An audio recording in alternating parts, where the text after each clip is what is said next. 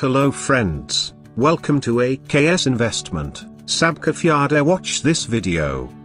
Nvidia surge results in historic $1 trillion market valuation. Nvidia has powered past other semiconductor companies as it is the world's biggest maker of the specialized chips needed to power AI products.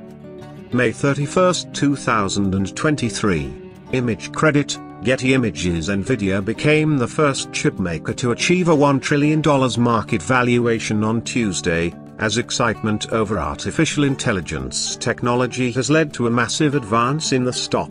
Shares gained as much as 7.7%, and it last traded with a market capitalization of $1.01 trillion. The stock has soared by about 180% this year. In contrast, the Philadelphia Stock Exchange Semiconductor Index has risen by about 41% in 2023, touching its highest intraday on Monday since February 2022. Nvidia and AI Nvidia has powered past other semiconductor companies as it is the world's biggest maker of the specialized chips needed to power a new generation of AI products. One of the biggest investment themes on Wall Street. Not only has it trounced the performance of other components of the index, it has done roughly twice as well as the next best performer, Advanced Micro Devices Incorporated, up 93% eh, but it has vastly eclipsed them in size. The second biggest component of the semiconductor index is Taiwan's semiconductor manufacturing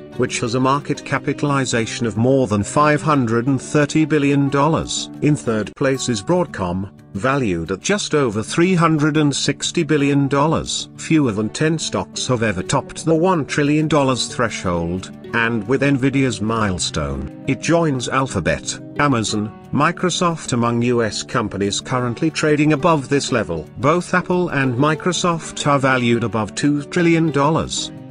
If you like this video click on like button and if you have any comments provide in comments box. If you still not subscribed channel, please subscribe. Also click on bell icon so that you will my video notification immediately.